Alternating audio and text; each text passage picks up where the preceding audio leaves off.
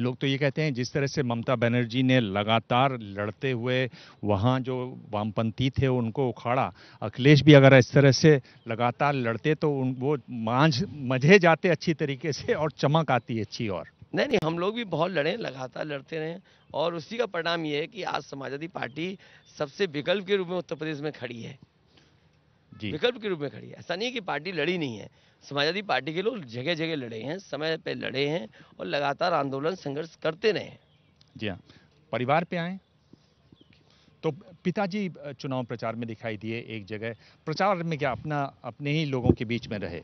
नहीं नेताजी क्योंकि नेताजी का स्वास्थ्य उतना बेहतर नहीं है और नेताजी क्योंकि जब टीवी पे देखते हैं और उन्हें चुनाव के बारे में जानकारी है तो उनकी भी इच्छा होती है कि ज़िंदगी जिन्होंने गुजार दी हो पूरी चुनाव में और, राजनीति में तो स्वाभाविक है उनका भी इच्छा होती है कि वो जाएँ और चुनाव प्रचार करें।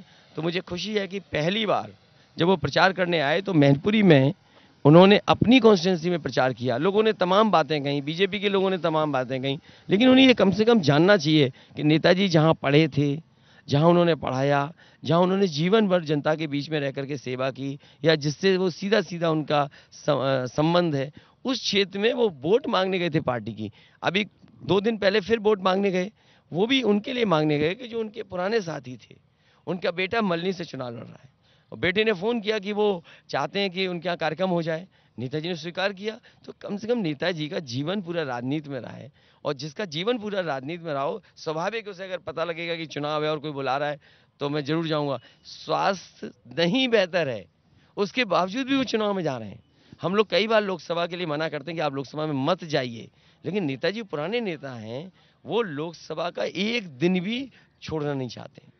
तो ये बीजेपी वालों को समझना चाहिए कि नेताजी आज के नेता नहीं हैं। बीजेपी गिनती में एक दो रही होगी तब के वो नेता हैं। कितनी सीटें हैं? अब आप ये मत कहिएगा कि मैं भविष्य वक्ता नहीं हूँ और ये हाँ, तो मैं चाहता था कि 400 सीटें जीत जाऊँ। हाँ। और मैंने पहले चार सौ? मैंने पहले दिन टारगेट फिक्स किया था। हम्म, गठबंधन और हम लोगों ने मिलकर के इस बार 400 सीटें जीतनी है। हाँ, अब मैं ये कह सकता हूँ कि समाजवादी पार्टी 300 सीटें जीतने जा रही है। जीत गठबंधन। समाजवादी पार्टी और गठबंधन मिलकर के 300 सीटों के करीब गठबंधन पहुँच जाएगा। दावेदार तो कई मुझे दिख रहे हैं। अ, कितने डिप्टी चीफ मिनिस्टर के बारे में सोच रहे हैं आप? नहीं अभी कोई डिप्टी चीफ मिनिस्टर की किसी भी गठबंधन से बात नहीं हुई।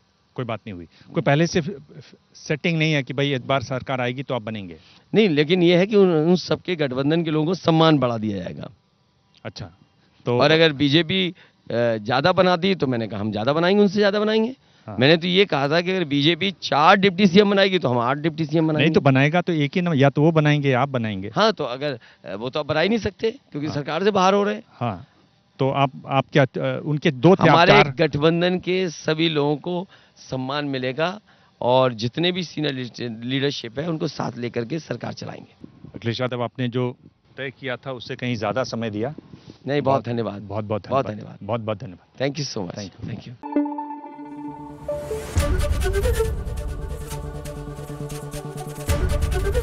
ABP News आपको रखे आगे।